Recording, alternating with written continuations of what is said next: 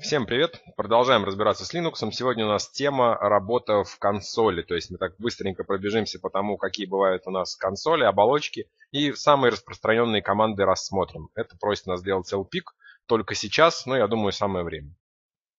LPIC нам выделяет на работу в командной строке целых 4 вопроса в течение своего экзамена. И вот такие требования просит у нас. Надо уметь работать э, в оболочке, понимать, что такое оболочка, настраивать под себя оболочку и выполнять ряд таких наиболее используемых команд. Плюс разбираться с тем, что такое переменные среды. Мы это все сейчас делаем на практике. У нас всего парочка слайдов. Первый слайд, это вы видите самые распространенные оболочки. LPIC э, уделяет внимание только Born Again Shell, башу нашему родному. Поэтому мы будем работать только по нему. В дальнейшем, э, когда будет у нас следующий курс, разберем остальные оболочки тоже так немного. Сегодня у нас все по башу. Из э, основных команд, вы их уже в основном все видели. Из нового у нас с вами будет сегодня Touch. Это команда, которая нам позволяет обновить время редактирования файла или создать пустой файл, что очень удобно. А, кроме того, мы работаем со справкой сегодня и разбираемся с тем, что такое переменные среды. Все эти команды сейчас будем использовать на практике, поэтому я так особенно про них рассказывать сейчас не буду. Зашли в Ubuntu и подняли свои права до суперпользователя командой sudo-i, как мы обычно и делаем. Прежде всего посмотрим, какая у нас используется с вами оболочка. Значит, если говорить об оболочках, как я и говорил, мы с вами говорим только о Bash. Bash это наиболее популярная в среде Linux э, командная оболочка. Э, при помощи нее мы, собственно, взаимодействуем с операционной системой. Это не просто командная строка, это целая программируемая среда со своими сценариями, переменными, э, каким-то синтаксисом. То есть все эти оболочки ведут себя немножко по-разному. Увидеть, какую оболочку использует наш конкретный дистрибутив, мы можем в э, файле etc passwd. Тут у нас видно огромное количество пользователей. Например, вот мой пользователь. И мы видим, что он использует binbash, то есть наш уборный gain shell. Ну, что и нормально для Ubuntu. По умолчанию она использует у нас с вами bash. Э, если говорить об этом bash, мы можем посмотреть с вами, например, ну давайте глянем. Мы с вами находимся сейчас в домашней папке моего пользователя. А, и вы видите, по умолчанию мы видим у него тут документы, загрузки, все как всегда. Если мы воспользуемся командой ls с ключом "-a", то есть просмотреть все, all, мы увидим здесь еще огромное количество скрытых файлов. То есть вот они все у нас, которые начинаются с точки. Это скрытые файлы и скрытые директории. А, и мы можем с вами здесь посмотреть настройки а, нашего конкретного баша. Вообще глобальные настройки оболочки у нас находятся вот здесь вот в папочке etc файле Profile. И здесь у нас находится глобальная настройка нашей, видите, Born Shell. А, тут, в принципе, много различных настроек. Тут, опять-таки, нужно понимать языки программирования, на которых это все написано. А, это не входит в нашу задачу. Мы здесь должны понимать то, что в основном здесь у нас есть настройки prompt statement. Statement, вот он, PS1. Это, в частности, то, как выглядит у нас начало каждой новой строки. А, увидите вот здесь настройки него. А здесь снизу настройка, например, user mask. Это настройка создания новых файлов. Но это все настройки оболочки. Что я имею в виду, когда я говорю, как выглядит каждая новая строка? Вы видите, новая строка начинается с э, имени э, пользователя, двоеточие и тильда, смотря где мы находимся, нам перечисляет. Мы можем настроить каждую новую строчку так, чтобы он нам не показывал имя пользователя, показывал полный путь, относительный путь и вообще много чего, хоть время пусть туда выводит. Это такая уже детальная настройка внешнего вида баша. Что я вам тут хотел него показать? А вот домашняя, значит, наша папка. И у нас здесь есть наш файл profile. Вот он. Это уже настройка баша для конкретно нашего профиля. То есть, если мы сделаем с вами vim.profile, мы здесь опять видим некий сценарий. И, в принципе, здесь просто ссылка на вот этот bash RC. В bash RC тут уже у нас находятся настройки внешнего вида этой оснастки. Мы сейчас ничего здесь не редактируем, потому что у нас поверхностное знакомство просто с Linux идет в течение этого курса. А уже настройку внешнего вида будем изучать, когда будет следующий LPIC 2 у нас. Вот здесь у нас уже конкретно э, настройки всего. Э, какая у нас, сколько у нас хранится история команд, как выглядит, каким шрифтом выделять что. То есть, например, мы можем выделить так, чтобы путь выделял красным цветом имя пользователя, там, зеленым цветом и так далее. Все это делается вот здесь, в настройках вот этого файла. Опять же, синтаксис, его сейчас мы не разбираем. Вам нужно знать просто то, что в домашней папке пользователя есть файл profile, в котором чаще всего находится просто ссылка на Bash.rc, а вот в Bash.rc уже находятся все детальные настройки оснастки, и вот через этот файл как раз лучше всего ее под себя и настраивать. Можно его редактировать, а можно посылать через консоль команды, которые будут изменять эти файлы. Есть определенный синтаксис. Теперь по базовым командам. Значит, у нас есть команда echo. Echo у нас выводит э, текст в консоль. То есть, если мы напишем с вами echo hello, результатом будет, вы видите, hello. То есть он распознает у нас, э, наш вот этот вот баш распознает первое слово как команду, эхо, а второе слово как аргумент этой команды. Если мы хотим вывести в консоль несколько слов подряд, нам нужно взять их в кавычки, потому что он споткнется на пробелах. Мы сейчас так далеко не будем заходить, мы попробуем выполнить ряд команд, то есть эхо hello, точка запятой, что для оснастки нашей равносильно новой строчке или новой команде, и затем, например, лист, то есть перечень файлов. Видите, сначала он выводит там hello, потом выводит перечень файлов. Можем сказать после перечня файлов еще что-нибудь скажи нам, например, пока. Эхабай. И вот мы видим, у нас команда выполняется так, как мы им сказали. Привет, перечень файлов и пока. Так у нас работает эхо. А, понятно, что у нас э, не все слова это команды. То есть мы с вами можем, в принципе, создать команду, можем привязать внутри нашей оболочки команду к какому-то э, псевдониму, то есть мы можем создать условные такие ссылки и сказать то, что у нас будет, например, не эхо команда, а там какой-нибудь привет. И привет будет вызывать команду эхо. Это опять детальные настройки баша, это продвинутое администрирование. Сейчас просто с вами поглядим, как, например, создать свою команду. То есть если мы, допустим, напишем шторм, такой команды у нас нет. Но мы можем создать э, файлик Storm, который будет что-то делать. Э, есть у нас такая команда cat. Вы помните, она у нас может выводить текст файла в наш терминал. То есть, если мы cat и текстовый файл, мы в терминале его видим.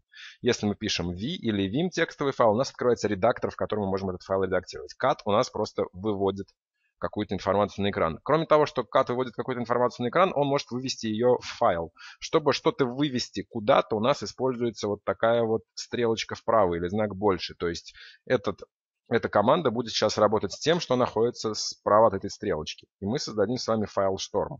Если бы мы написали э, меньше и стрелочку в обратную сторону, соответственно, мы бы взяли информацию. Но для ката это бессмысленно. То есть кат передает сейчас в Storm что-то. И что мы будем передавать? Передадим команду эхо. Ну и пусть какой-то набор символов, не знаю, такой просто будет. После того, как это сделали, нажимаем Ctrl-C. И можем посмотреть, появился ли у нас такой файл, Storm. И видим то, что у нас в нашей текущей директории, потому что мы работаем в ней, появился файл Storm. А, мы можем попробовать его даже, наверное, посмотреть. Cat Storm. Видим, да, то, что это файл, в котором просто два слова эхо и некое слово. А, для того, чтобы этот файл превратить в команду, нужно сделать его исполняемым. Это тема следующих занятий. Мы сейчас немножечко просто вперед заглянем. Напишем chmod, change mod, плюс x, то есть сделать его executable выполняемым. Storm, с чем, с каким файлом выполнить эту операцию. То есть мы делаем файл исполняемым. Сейчас на этом не зацикливайтесь, он у нас для примера. И снова пишем лист. И видим то, что файл у нас позеленел. Если у нас файл позеленел, в наших настройках Bash указано то, что зеленым отображаются у нас такие исполняемые файлы. И мы видим, что этот файл, собственно, исполняем. Теперь мы можем попробовать выполнить эту команду, которую мы только что с вами придумали, Storm. И он нас посылает. Посылает он нас потому, что у нас по умолчанию оболочка ищет исполняемые файлы, которые мы пишем как команды, по определенному пути. А, все эти пути можно посмотреть у нас в переменных среды. Вот мы с вами добрались до переменных среды. Значит, переменные среды это а, определенные переменные, которые могут показать нам настройки текущей операционной системы. То есть это некоторые переменные, как, не знаю, как в алгебре у нас есть переменные, так и в Windows у нас переменные есть, например, компьютер name или username, так и в Linux есть переменные. А, команда env у нас показывает нам все наши переменные. Мы видим, у нас полно переменных. А, вот у нас есть такое место, как path, путь. И он говорит нам, что для нашего пользователя будут искаться а, переменные вот по этому пути. User local been, user local bin, user been и так далее. И мы видим остальные настройки для нашего пользователя. Мы видим язык у него, видим его домашнюю папку. так как мы, в принципе, работаем из-под пользователя э, Симаев, из-под моего пользователя, он нам показывает его переменные. Видите? А, так как у нас по умолчанию только вот по этому пути ищутся исполняемые файлы, мы не можем вот так вот взять и запустить эту команду не пойми откуда. Но мы можем запустить ее с полным путем. Так, чтобы посмотреть еще раз, мы находимся у меня, и у меня есть файлик Storm. Чтобы посмотреть, в каком месте мы сейчас находимся, видите, у меня оснастка не показывает полный путь, она показывает тильду. Есть команда pvd, Private Working Directory, показывает ту папку, в которой мы сейчас находимся. И я вижу, что мы находимся в папке Home, Симаев. И отсюда можем по полному пути запустить Шторм. И видите, срабатывает. Он выводит нам тот текст, который мы ему сказали. Вот это у нас полный путь к файлу. Видите, он начинается с обратного слэша. Обратный слэш – это наша корневая файловая система, корень, куда у нас монтируются все остальные папки. А, мы давайте еще раз поглядим через ls-a все, что у нас есть. И видите, у нас есть скрытые вот эти вот файлы, которые начинаются с точки. И кроме того, у нас есть вот эти загадочные папки точка и две точки. Точка – это просто текущая папка. То есть, если я сделаю cd точка, и выполню Private Working Directory, я вижу, что я остался в той же папке Home Симаев. А две точки это подняться на уровень выше. То есть сейчас я поднялся на уровень выше, Private Working Directory, и вижу то, что я нахожусь в папке Home. То есть через две точки мы можем с вами подниматься на уровень выше. Понимаете? Давайте вернусь я в свою папку. Я в ней нахожусь. А, к слову, почему вот здесь она у нас не показывает путь, а показывает тильду? Потому что у нас в одной из переменных среды, pvd, указано то, что по умолчанию директория, с которой я начинаю работать, это home CMI. Для нее, для нашей оснастки, для нашей оболочки, это и есть наша домашняя папка, откуда все стартует. Поэтому она здесь не показывает к ней полный путь, а показывает тильду вот такую. Давайте, значит, еще момент про точку. А, мы можем с вами, как вы видели, написать вот так вот полный путь к команде а можем указать полный путь через вот эту вот единственную точку. Вот она, верхняя левая точка. Эта точка говорит о том, что мы сейчас будем находиться в нашем каталоге. Мы можем писать просто точка, слэш, шторм. И видите, команда тоже выполняется. Это у нас путь из текущей папки, который просто под вот этой точкой понимает вот этот вот путь целиком. То есть вот так вот мы можем тоже запускать файлы без указания полного их пути через вот такую точечку. А, дальше по переменным среды. Мы с вами, значит, давайте очистим экран. И еще раз выведем переменные среды. Вот мы видим, есть некие переменные среды. Мы можем добавить переменную. А, мы можем сказать, что у нас есть, скажем, какая-нибудь переменная ABC. То есть сейчас у нас начинается, грубо говоря, обычное программирование, которая равна раз, два, три например. То есть мы просто сейчас задали в символьной последовательности ABC значение раз, два, три. Пока еще это не переменная, это просто мы задали слову число. Чтобы превратить это в переменную, есть команда export. Export ABC. После того, как мы это делаем, мы можем снова вывести набор переменных среды. И видим то, что у нас появилась такая переменная ABC. Раз, два, три. Мы можем теперь работать с этой переменной, то есть прям указывать ее э, в, в качестве, не знаю, аргумента, чего угодно. То есть можно написать «выведите нам эхо». Знак доллара – это знак, который обозначает то, что мы будем сейчас обращаться к переменной. А, Б, С. И это раз, два, три. То есть мы сейчас можем эту переменную использовать везде, где угодно, где захотим. Мы можем отменить эту переменную командой unset.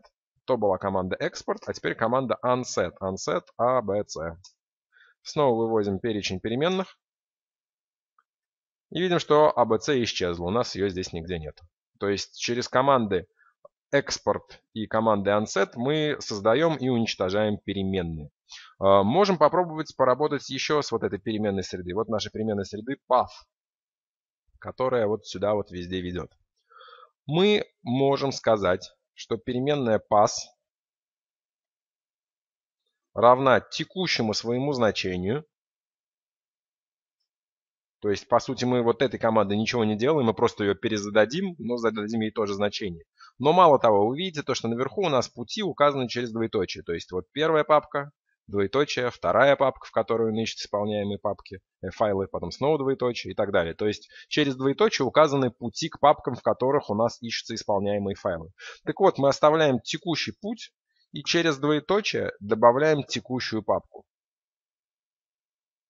Я думаю, это должно быть вам понятно. Вы не можете мне сказать, если вам это непонятно. У нас не урок, а запись. Тем не менее, то есть сейчас у нас переменная path равняется самой себе, после чего добавляется еще путь в текущую папку. Нажимаю Enter.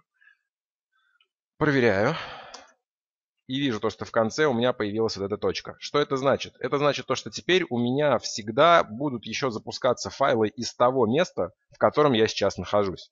То есть я прямо сейчас могу еще раз убедиться, то, что я нахожусь в своей домашней папке я в ней. И прямо здесь, без всяких указаний пути, запустить свой шторм. И вот он срабатывает, потому что переменная теперь у нас будет э, среды указывать мою текущую папку. То есть если я выйду на уровень выше, вы видите, теперь я нахожусь в папке Home, и отсюда попробую запустить шторм, у меня ничего не получится, потому что сейчас я нахожусь на папке, в папке на уровень выше. И эта папка, а, она указана в переменной среды как папка, в которой можно искать шторм, но в ней, в этой папке, у нас, как вы знаете, шторма нету. Здесь есть только папка моего домашнего пользователя. Ну, это такой один из примеров, как работать с переменными среды. И немножечко не по теме сегодняшнего занятия, но если мы уже говорим об оболочке командной, э, есть у нас еще такие групповые символы или while-чарты. Э, их очень много на самом деле, мы сейчас самые основные с вами рассмотрим, а вообще мы будем к ним еще возвращаться, наверное. Значит, давайте перейду я в свою папку. Так, я ее указываю, я указать должен ее относительный путь. Вот она. И создадим в ней несколько файлов. Итак, команда touch нам позволяет создавать файлы. Создадим файл 1.txt, 2 txt, 3 txt, 4 txt, просто пустые файлы с таким именем. 5 txt, проверяем. Вот у меня эти файлы создались. Итак, переменные, не переменные, как они, групповые символы.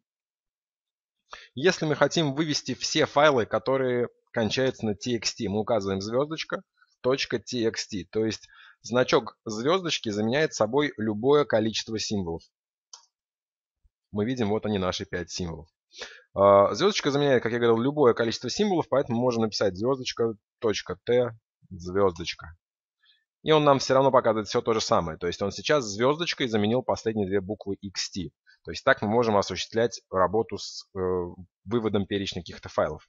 Есть значок вопросительного знака, который заменяет только один символ.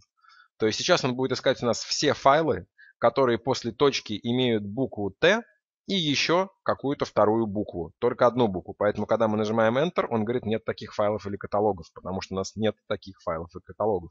А если мы напишем T, допустим, вопросительный знак T, он нам выводит наши файлы. То есть звездочка у нас заменяет собой любое количество символов, вопросительный знак заменяет собой только один символ.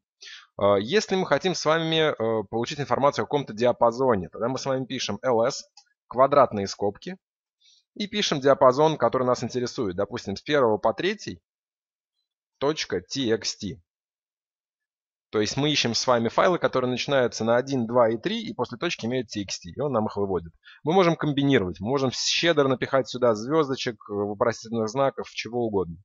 А, мы можем с вами создать э, последовательность некую. Например, мы можем с вами написать touch, создать, фигурные скобки, и создать файлы, допустим, 6, 7 и 8 .txt. Проверяем. Они у нас тоже создались. То есть из текущего урока вам нужно понять то, что у нас есть звездочка, которая заменяет любое количество файлов. Вопросительный знак заменяет только один какой-то, не файл, знак, символ. Э, квадратные скобки это диапазон, фигурные скобки это некая последовательность, которая может подставляться в качестве аргумента для выполнения команды. Символов еще очень много, есть слыши, обратные, наклонные, кавычки одинарные, двойные, кавычка, которая у нас находится на русской букве Ё. Мы с ними будем потихонечку сталкиваться, я буду о них по ходу дела рассказывать, чтобы сейчас вас не грузить. Значит, еще что у нас сегодня идет по LP. -ку. Uname, такая команда. Показывает, какая у нас операционная система. Но я думаю, Linux мы и так догадывались. Если написать uname-a, он нам покажет уже поконкретней. У нас с вами Ubuntu. И он показывает, какая версия, какое издание, когда была выпущена и все такое. И ядро даже Linux тоже показывает. Дальше у нас с вами есть команды файл. Это все справочные команды, мы добрались до справки. Можем сказать файл storm наш. Что это за шторм? И он говорит то, что это просто текст, потому что вы помните, мы сами его создали, это команда эхо с каким-то там набором символов. То есть можем сказать файл, и если укажем на картинку, нам скажет то, что это, допустим, какой-нибудь bitmap image с таким-то расширением, с таким-то количеством цветов, или векторная графика, или какой-нибудь сценарий. То есть команда файл нам выводит э, то, чем является данный файл. Есть еще команда what is. Такая тоже справочная команда. Что такое, например, Linux Loader, Lilo. Не может нам ничего найти, потому что у нас него не установлено. Может быть, вот из history давайте попробуем. Вот из history. Говорит то, что history это библиотека, вы видите, э, команд э, истории библиотека команд, связанных с историей. То есть через вот is мы можем задавать вопросы. Давайте попробуем спросим его про мой текстовый редактор любимый. Be improved. Вот он нам показывает, что это улучшенный текстовый редактор. Такая справочная информация. А, со справочной информацией разобрались. Давайте очистим экран. Это все не очень интересно, поэтому я тороплюсь так. А, history показывает историю выполненных команд. Видите, вот мы с вами уже выполнили огромное количество команд. Он все их запомнил. Можем двигать стрелочкой вверх. Как вы знаете, чтобы повторить какие-то команды, я обычно делаю стрелочкой вверх, стрелочкой вниз и ищу то, что мне нужно. То есть стрелочками мы передвигаемся по истории команд, чтобы вы имели в виду. Дальше у нас есть с вами табуляция такая, таб, который расположен над капслоком. Мы можем написать начало какой-нибудь команды или начало какого-то файла или папки и попробовать дополнить табуляцией. Вот я нажал Tab два раза, и он говорит то, что с P у него начинается он огромное количество команд. А, если я скажу, что меня интересует команда PID-OFF, я нажимаю PID, и я вижу то, что у меня нету больше никаких команд, которые у меня заканчиваются на букву D, где третья буква D. Нажимаю табуляцию, и он сам ее дописывает. То есть через табуляцию я всегда дополняю что-то. Например, когда я с вами хочу перейти в папку Home, а потом в папку Симаев я пишу CDS, нажимаю табуляцию, и он сам ее дополняет, потому что у него только одна папка в текущей директории начинается на букву S. То есть через табуляцию мы можем с вами дополнять команды, пути, все что угодно. Так, по History я вам еще не показал, кстати. По History у нас есть с вами хороший очень мануал по команде History, потому что это на самом деле серьезная команда. Man History. Man у нас ищет мануалы. И он нам показывает вот такой вот мануал, вы видите. Мы можем по нему погулять и нажать Q, чтобы выйти из него. И он рассказывает нам, что это за команда, как ей пользоваться, какие у нее есть аргументы, операторы и так далее. Такая серьезная, полная команда по работе с историей.